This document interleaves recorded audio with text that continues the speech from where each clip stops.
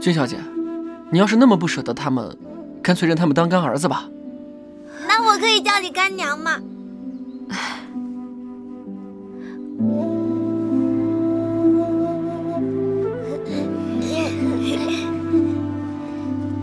啊？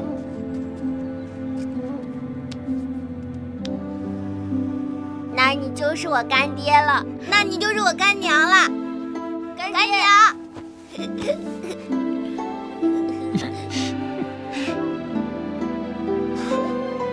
别胡说。时候不早了，他们还要赶路呢。来，和干爹干娘告个别吧。干爹干娘，好走。走了，路上慢点。嗯。